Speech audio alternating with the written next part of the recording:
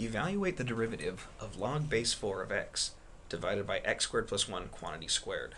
Let's begin by simplifying the expression first.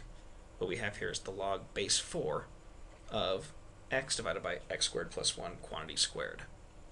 I'm putting in those parentheses that should have been there from the beginning. Now notice that you have a log base 4. We can convert any based logarithm into the natural logarithm as 1 over ln of the base times ln of the argument. So we're going to have ln of the inside. And let me also prep this. We're going to have x times x squared plus 1 to the minus 2. So I can get rid of those denominators. Now remember, we've got a logarithm here, which means we can use the rules of logs to break it up. So there's 1 over ln of 4 in the front. Now we're going to break this up as ln of x plus ln of the quantity x squared plus 1 to the minus 2 using the first rule of logarithms. And remember, this is a giant uh, there's parentheses around this expression. It's a giant sum.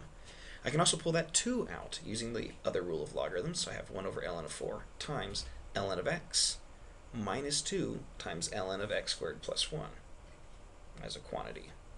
So this is about as prepped as it's going to get. Now we can take a derivative. The 1 over ln of 4 is just a constant, comes along for the ride. So let's differentiate inside these parentheses. The derivative of ln of x is of course 1 over x minus 2 times the derivative of this is 1 over blank times the derivative of blank. The blank is x squared plus 1. Its derivative is 2x.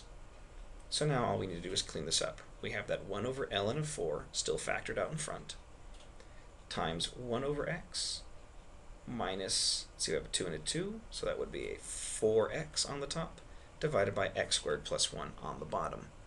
And so there's our derivative.